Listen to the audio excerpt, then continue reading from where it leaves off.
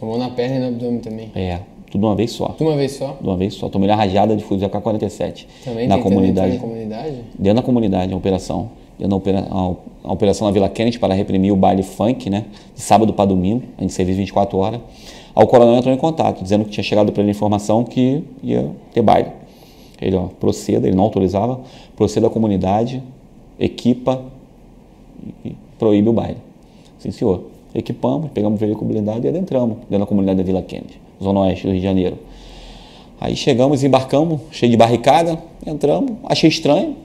Pô, meu irmão, sábado para domingo, quase meia-noite. Não tem som, não tem nada. Pô, e nem vagabundo na pista, era pra favela, tá fervilhando de bandido. Mas, cautela, eu mais dois companheiros que eram novos de guarnição, não conhecia a comunidade, falei, vem comigo. Vamos, vamos. Quando eu passei, não, tinha uma entrada assim, uma viela, quando eu botei a cara ali, o moleque pegou a Glock rajada e deu uma rajada.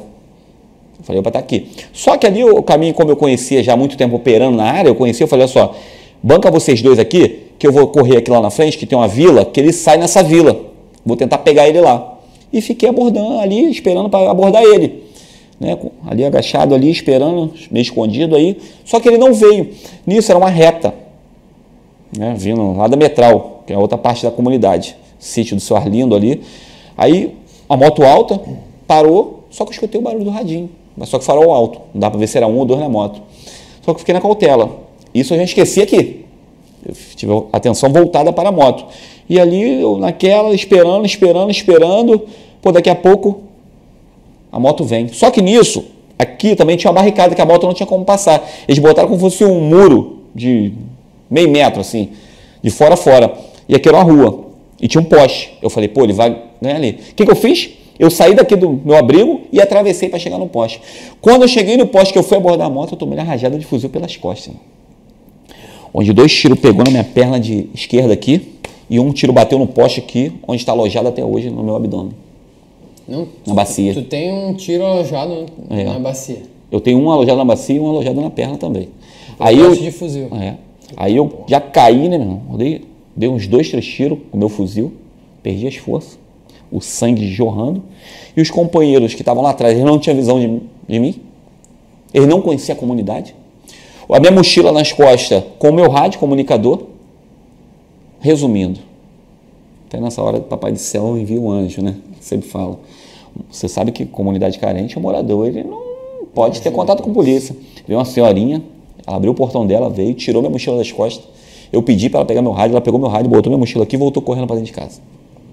E ali eu consegui falar, eu tô aqui baleado na esquina Calomé aqui. Aí o caveirão veio, parou, os companheiros foram, arrumaram uma porta velha lá, que estava no chão lá, me botaram em cima, fizeram, tiraram meu cinto, fizeram um torniquete, porque vazava muito sangue, medo de pega femoral, mas graças a Deus não pegou, mas travou, fez o torniquete e me levou para o Albert Schweitz novamente. Chegando no Albert, porra, de novo baleado ele. Chegando lá, o médico, porra, meu irmão, viu a perna toda estourada. Tava consciente? Tava consciente. Consciente. Posso ser falando para você? Como eu sei que o tiro de fuzil faz um estrago, eu não olhei minha perna. Eu não tive de coragem de olhar para minha perna ferida. Eu só fui ver depois quando estava costurada já em casa. Eu não, em nenhum momento eu olhei. E ali Só eu, sentia dor e é, eu não olhei em nenhum momento. E ali eu, né, naquele, pô, o médico veio, pô, toma ali tramal e nada, muita dor, muita dor, muita dor, gemendo, me batia de dor. E toma tramal e nada, morfina. Nada. Outra morfina. Nada. O médico falou, não posso dar terceira nele, porque senão vai ter parada cardíaca. errando de dor e não passava nem com morfina. Eu lembro até hoje, um amigo meu me segurando pela mão esquerda, o outro segurando pela, pela mão esquerda ou pela direita. O médico, bateu- o médico começou a costurar minha perna. Eu me batendo de dor, e o médico costurando. Sem anestesia. Não, a anestesia não pegava, pô. E ele, ó, costurando por dentro. Por dentro e depois por fora. Eu tomei 68 pontos na perna esquerda. Sem anestesia. Sem sentir anestesia. Não, Eu, Cara, chega a dar um. eu gemia, né? E, Senhor, eu comecei a. Senhor, aí a dor foi diminuindo, diminuindo, diminuindo, até que a dor passou. Aí o médico terminou. Será que demorou pra agir a morfina? Demorou. Acho que demorou. Foi Demorou. isso, né? Mas ele tinha que fazer ali na hora também. Tinha que fazer, senão- porque tava os vasos tudo estourado, ele tinha que suturar ali para fechar. Tava vazando muito sangue. Então teve que gente te segurar Sim. não ficar. Me batendo muito. Sentia muito. Cara, me batia, colegas tremia. vendo isso, né? É. Teus colegas É. vendo isso também é, é- é, é punk tu ver o teu. Porque também tu se sente às vezes. é, como é que é? Incapaz de ajudar, realmente. Tu não se sente fazer. impotente. Impotente, isso. Querer é só o médico. Só confiar no trabalho do médico. mesmo. Isso. Aí eu lembro, eu fui transferido, né, pro HCPM. Aí chegando lá eu fiquei internado. Todo dia tinha que fazer drenagem, que minha perna inchava muito. Minhas pernas inchavam como fosse da largura do meu tronco aqui. Ficava desse tamanho. Todo dia. Aí aquela pontinha com bisturi, aquelas fraldas geriátricas, um monte por baixo. E a médica vinha, né, meu irmão? Espremia aquela secreção de sangue e pus. E foi passando, foi passando, foi passando. E o médico estava preocupado que achando que ia ter que amputar minha perna porque a secreção não parava. Né? E foi passando aquilo ali, dias, dias. Aí lembra até hoje. Cara, a médica falou assim: pô, tá melhorando, eu vou te dar alta. É o que você mais quer ouvir quando você está internado, é quando o médico fala assim: eu vou te dar alta. Pô, né, senhor, obrigado. Quando a médica tirou o coletivo aqui, o último, começou a vazar muito de novo. Aí ela: não, não posso. Pô, meu irmão, aí teu psicológico, né, meu irmão? Desaba Fodeu. né? Pô, Senhor me ajuda e naquela ali. E passei mais quatro dias internado. Né? E aí, engraçado que o daqui da perna parou. O do abdômen, como ele ficou alojado lá dentro, ele ficou uns dois meses para parar de vazar em casa. Ficava vazando direto, direto. A secreção, Secreção? secreção. Caramba. Mas depois, E não tem o que fazer pra tirar isso aí. não, porque quebrou a bacia aqui, um pedaço da bacia, foi melhor não, foi melhor deixar, Deixa ele mesmo. deixar. Tu, a dor da perna é maior do que do peito? Quando tu tirou, tu não. não... Pô, não tem como mensurar, não. As duas dores são muito fortes. Não tem como dizer uma foi mais, a outra foi menos doloroso, não. Os dois foi muito forte. Tiro de fuzil é tiro de fuzil, irmão.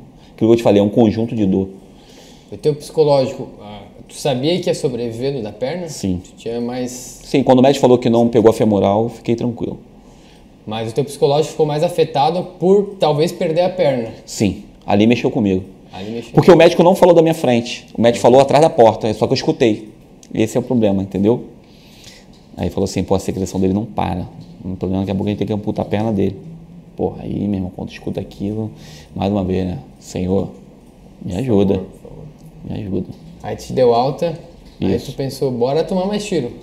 Não, aí fiquei um tempo, fiquei um ano fora, me recuperando, fiz muita Ah, fisioterapia. ficou bastante tempo. Fiquei, porque eu perdi muito músculo da perna. É como se fosse o tubarão me desse uma mordida aqui, né?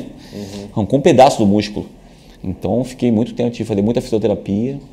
E ali eu fui, fiquei um ano fora, me recuperei. Foi aí quando eu voltei, né? Isso foi no ano de 2017. Aí o coronel Martins, tu tá aí tranquilo, pô, fica aí no oficial de dia, se recuperando. Tua família veio aqui também pediu para eu não deixar mais você ir pra rua combater. Eu falei que não. E depois eu falou assim, ó, fica com o motorista do blindado. E eu comecei a dirigir o caveirão, né?